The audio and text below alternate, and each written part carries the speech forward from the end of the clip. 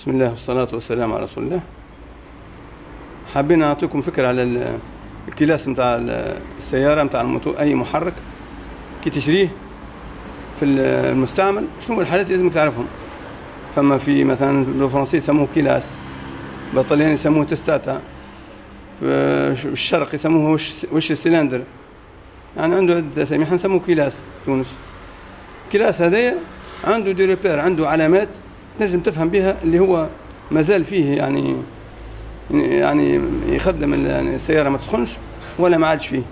عندنا مثلا مثال لل culasse هذايا عندنا repère هذه. هاو تشوف فيها بصبعي هذه. هذه لازم تكون عالية شوي.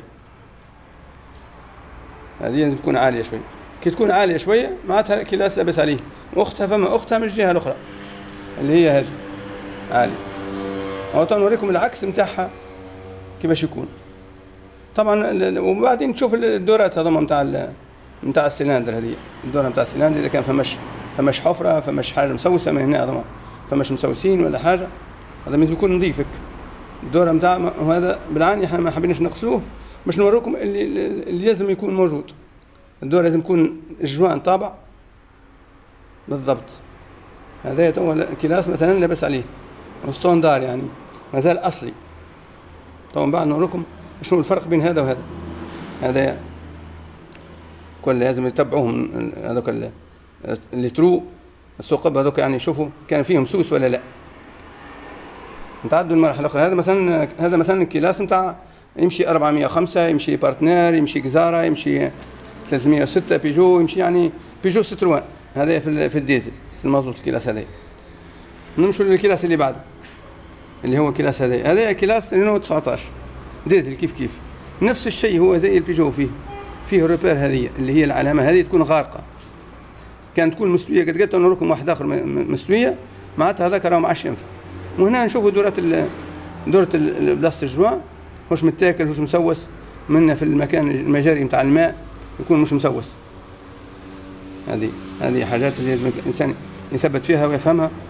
هو عنده deux repères هذا علامة وهذه علامة منا. لازم يكونوا الزوز يعني عاليين عاليين وقتها هو standard طبعا هذا culasse standard يتسمى ومش مسوس مش متاكل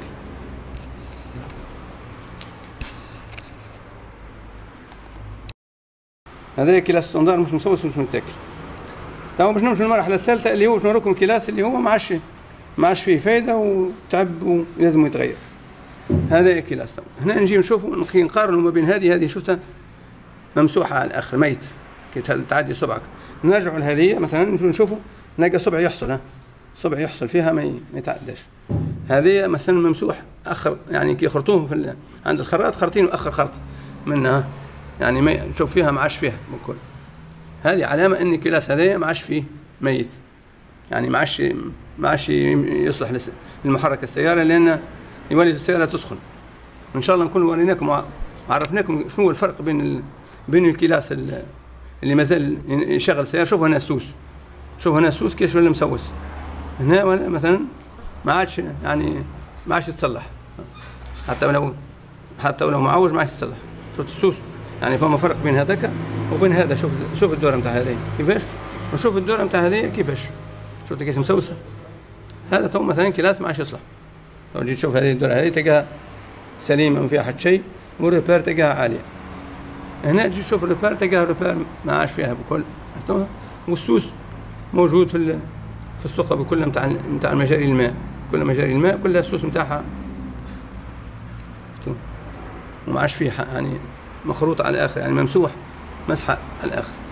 فما فرق بين هذا المسوس وبين هذا اللي لبس عليه اللي هو فيه ريبير عالية. المكان المجاري نتاع الماء كلها سليمة كلها ما فيهاش سوس.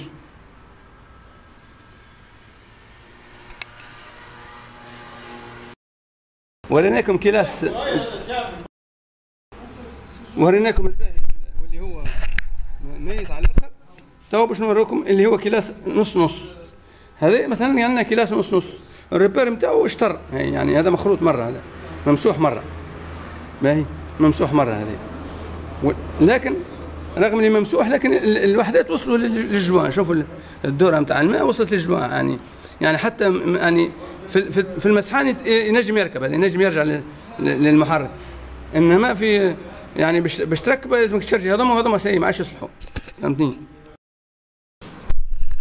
هنا مثلا الدوره نتاع ال joint شفتوها؟ الدوره نتاع ال joint وصلت على الآخر يعني مسوسه ما عادش فيه. معناتها رغم ال culasse مازال يعني ينجم يمشي. لكن من كثر السوس نتاع الماء اللي هو ما عادش فيه طبعا ال culasse هذايا ما عادش ما عادش يصلح للمحرك. شوف فيه. هذه مثلا واحدة وصلت للآخر. بس فيها شفتها لأن الدورة نتاع ال joint هذه الدورة نتاع ال joint هذه وصلت للحاشية نتاع الماء. يولي الماء يخرج للبيسون ما عادش ما عادش يعطي فايدة. هذه هذا مثلا culasse. Bon هذه زاد شوف وصلت للآخر وصلت لحاشية ال joint. كيف كيف؟ معناتها تو هذا culasse في, في العموم نتاعو مازال به مازال يمشي. لكن السوس في الماء أثر عليه. يعني culasse مسوس السم فما اللي يحب يشرجيه مثلا كي يلحموا باللحام ويعاود يخرطوا فما اللي يقول لك لا هذا ماشي يعني نتاع نتاع dépannage يمكن. نتاع واحد مثلا قطع يعني en panne في مكان بعيد ما يلقاش قطعة يمكن نجم يشرجيها يعبيها باللحام هذا ويمشي به يعني يمشيه يوصل المكان اللي هو مروح ليه أما كان باش يعمل عليه مثلا في الصيف وكذا لا ما نجمش. يعني لأن نشوفه هنا وصل للجوان لكن مريك منا شوف الوحده قديش بعيدة على الجوان. لكن مريك منا شوف الوحده قديش بعيدة على الجوان كي تشوفها هنا تلقاها في حاجة الجوان بالضبط. عطيناكم تو ثلاثة نماذج من نوعية ال culasse اللي هو يعني ما زال يخدم وال culasse اللي ما عادش يخدم وال culasse اللي نص. إن شاء الله نكونوا أفدناكم بالموضوع هذايا وتكونوا استفدتم وتنجموا يعني سواء كنت ميكانيكي أو كنت صاحب سيارة عادي تنجم تشتري culasse اللي هو التستات هذه. وأنت مطمن يعني من فما حاجات داخلية اللي هي مثلا تكسير الداخل ولا كذا هذه ما تنجم تعرفها إلا ما إلا ما يركب الكلاس مكانه في المحرك ويتخدم المحرك. حتى تهزها للخراط يقول لك هذا يعني ما تخافش باهي وساعات يطلع سرطان لأنه هو بده ما ينجمش ما عندوش آلة اللي يمشي يقيس بها الضغط نتاع المحرك والضغط نتاع الماء وسخانة الماء اللي تكون موجودة في المحرك باش ينجم هو يتستي إذا كان فيه تكسيرة من داخل ولا لا.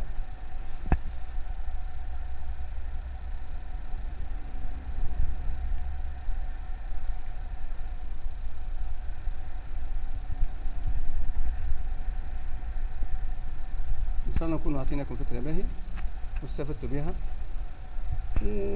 وكيف العادة اللي عنده استشارة ولا عنده ما ما يسأل. ينجم يكتب لي ونحاول له نجاوبه ونعاونه قدر المستطاع.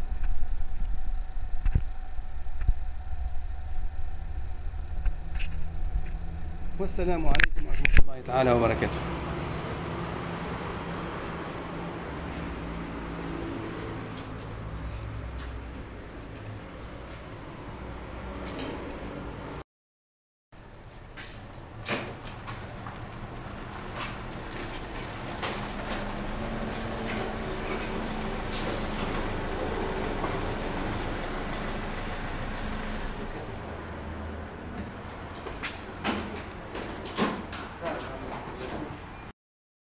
وريناكم الكلاسات. تو باش نوريكم المحرك اللي وريناك الكلاس نتاع هذا تو محرك أرز اللي هو وريناكم الكلاس نتاعو ها تو المحرك هذايا راكب فيه كلاس خل اللي وريته لكم أنا بالعكس.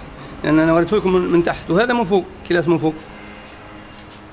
هذا محرك مثلا أرز نف رينو 19 وريتكم الكلاس نتاع اللي هو آه، لابس عليه. هذا المحرك نتاع ال culasse الثاني اللي وريته لكم اللي هو بارتنير ولا 405 ولا يمشي مع عدة حاجات. هذا بس توا لكن هذا يكون مغطي أكثر نتاعو لل émission